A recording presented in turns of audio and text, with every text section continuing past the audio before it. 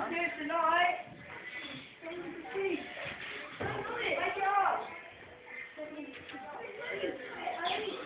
Lester, get your hand up his arse. Yeah.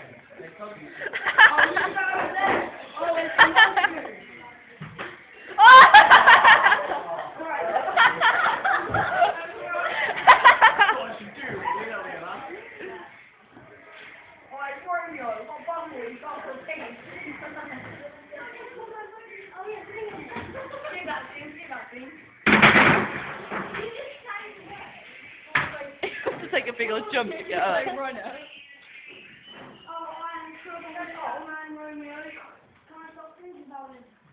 Me too. Turn it off. I don't care, I want to go see